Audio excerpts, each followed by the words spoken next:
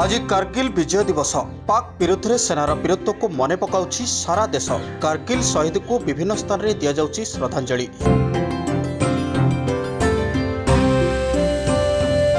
ଆଜିର ଦିନରେ ଭାରତୀୟ ଯବାନମାନେ ପାକିସ୍ତାନୀ ସେନାକୁ ମାତ୍ ଦେବା ସହିତ ଅପରେସନ ବିଜୟରେ ସଫଳ ହୋଇଥିଲେ ଧୂଳି ଚାଟିଥିଲା ପାକିସ୍ତାନ ଭାରତ ଆଗରେ ନୁଆଇଥିଲା ମୁଣ୍ଡ ଛତ୍ରଭଙ୍ଗ ଦେଇଥିଲେ ପାକିସ୍ତାନୀ ସେନା ଆଜି ଭାରତୀୟ ବାହାଦୁର ଯବାନଙ୍କ ପରାକ୍ରମକୁ ସାରା ଦେଶ ମନେ ପକାଉଛି। ସେହି ବୀରପୁତ୍ରଙ୍କୁ ଯାହାଙ୍କ ପାଇଁ ଆମେ ଆଜି ଶାନ୍ତିରେ ନିଶ୍ୱାସ ମାରୁଛେ।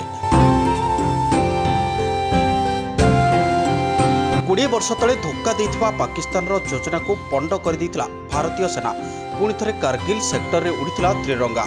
କାର୍ଗିଲ ପାହାଡ଼ ଉପରେ ଉଡ଼ୁଥିବା ଏହି ତ୍ରିରଙ୍ଗା ଦେଶ ପାଇଁ ଶହୀଦ ହୋଇଥିବା ବୀର ଯବାନଙ୍କ ପରାକ୍ରମର ଗାଥା ବଖାଣୁଛି ସେଦିନର ସେହି ବିଜୟକୁ ମନେ ପକାଇ ଦେଶ ଆଜି ପାଳନ କରୁଛି ବିଜୟ ଦିବସ।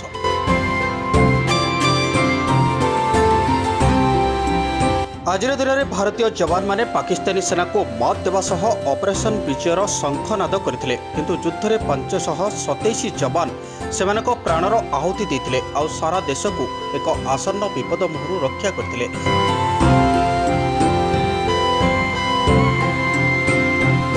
ହିମାଳୟର ବରଫାଚ୍ଛନ୍ନ ଅଞ୍ଚଳରେ ଭାରତୀୟ ସେନାର ଏଭଳି ଦୁଃସାହସ ସବୁ ମହଲରେ ପ୍ରଶଂସା ସାଉଁଟିଥିଲା। ଆଉ ପାକିସ୍ତାନ ଭଳି ଏକ ଆତଙ୍କୀ ରାଷ୍ଟ୍ରର ଅସଲ ମୁଖା ଖୋଲି ଦେଇଥିଲା।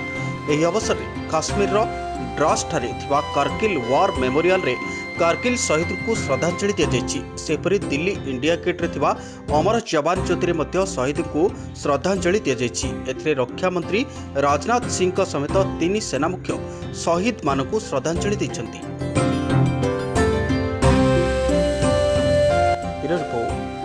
者からそは